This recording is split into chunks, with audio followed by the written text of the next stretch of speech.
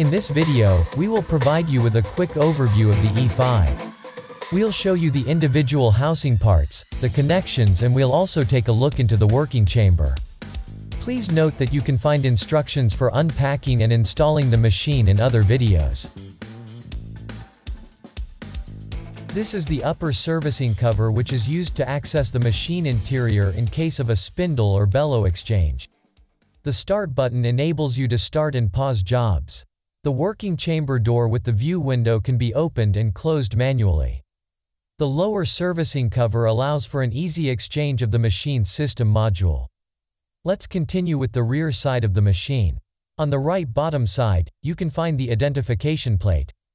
Next to it is the connection panel with the main power switch, the power connection, the Ethernet port, and three USB ports for future extensions. In the middle, there is the hose connection for the air extraction system.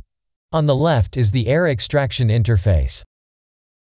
Behind this cap is the emergency opening mechanism for the working chamber door. Let's take a look into the working chamber. Note that if the machine is switched off or when axes are moving, the working chamber door is locked. Switch on the machine at the main power switch.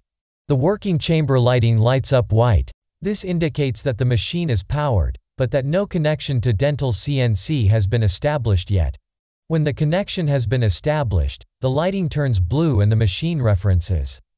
After referencing, the lighting turns green. You can now open the working chamber door by the recessed grip. The AB axis module in the working chamber contains the following elements. The tool magazine for 16 standard VHF dental tools. The insert for the air tool. The measuring key for the automatic tool length measurement. The blank holder.